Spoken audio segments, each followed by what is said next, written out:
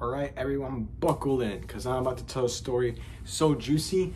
You're gonna need some lime juice and hot sauce on your popcorn, which I really like.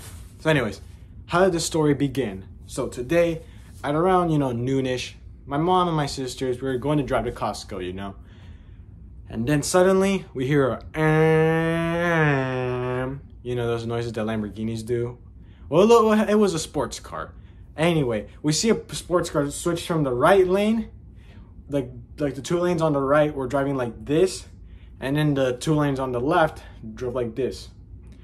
And this dude kept on switching lanes like back and forth, left and right lane, the from the lanes that go straight ahead. And he kept on switching, and my mom didn't was not aware of what of the noise. She got scared, let go of the handle, went to the lanes that were going the opposite direction of the, where the other lanes were going. And she was trying to steady herself on the wheel and switch to the lane. And, and my mom almost lost control of it. We were scared. She, my mom almost lost control of the wheel because that dude went in unsuspectedly.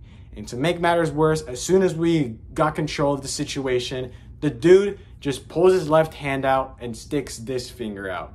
We were so mad. But we got but we got to Costco, but we got to Costco safe. And the dude, what happened to the dude? What happened to his comeuppance? Well, last time we saw his car, he was in traffic, so I don't know if that's a good sign of comeuppance or a bad, or just an okay sign of comeuppance. But anyway, I don't know if the dude got what he deserved, but they just taught me one lesson today.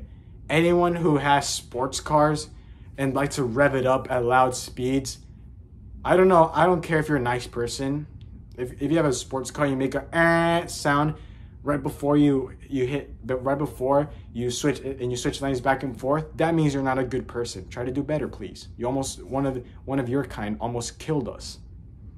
So yeah, that was the story. Um, in conclusion, I hate people who drive sport. I hate people who drive sports cars and rev and rev the sound so loud. I hate those type of people.